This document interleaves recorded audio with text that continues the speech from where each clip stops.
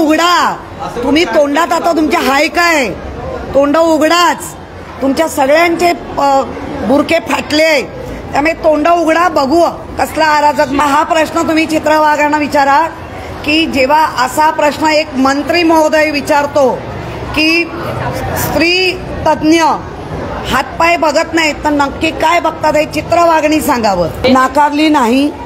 अजूनही आयुक्तांनी काल डिक्लेअर केलंय की गणपतीनंतर त्या परवानग्या दिल्या जातात आणि कायम जर आपण रेकॉर्ड चेक केला तर गणपतीनंतरच परवानगी आलेले आहेत त्यामुळे आपण खूप घाई करतोय आणि उगाच एकमेकांमध्ये तेढ वाढवली जाते असं माझं मन वैयक्तिक मत. आहे. नाही नरेश मस्केनी बरोबर सांगितलंय.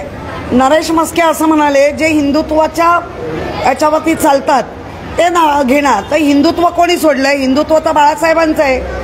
आणि हिंदुत्व घेऊन शिवसेना मोठी झाली आहे त्यामुळे शिवसेना पक्षाचा जो मेळावा आहे उद्धवजी बाळासाहेब ठाकरे यांनी गेली दहा बारा पंधरा वर्ष जे मेळा तोच मेळावा तिथे होणार आहे.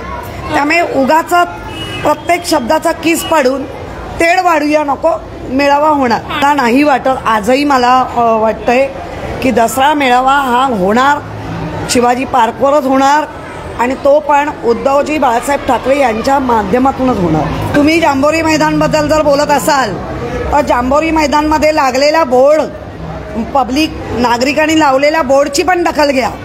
तिथे नागरिकांनी निषेध केलाय. स्थानिक पातळीवर निषेध झालाय. वरच्या वर तुम्ही काय फिरवताय याच्यापेक्षा स्थानिक पातळीवर काय होतंय हा पण महत्त्वाचा भाग आहे. नागरिकांनी निषेध केला.